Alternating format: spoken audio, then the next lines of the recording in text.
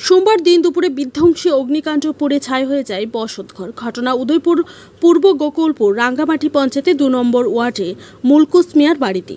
বাড়ির লোকজনরা ঘর থেকে ধোয়া বের হতে দেখে চিৎকার শুরু করলে এলাকার লোকজন আগুনের লেলিহান দেখে সঙ্গে সঙ্গে।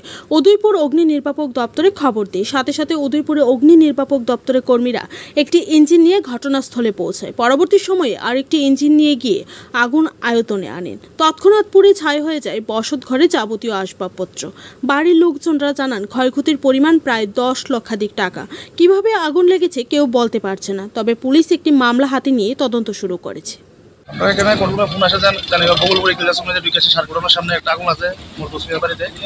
আমরা আইলাম এসে দেখলাম প্রথম ফার্স্ট ইঞ্জিন একটা আছে সময় সেকেন্ড ইঞ্জিন আসছে এসে কাজ করলাম। ব্যুরো রিপোর্ট, খবর ত্রিপুরা।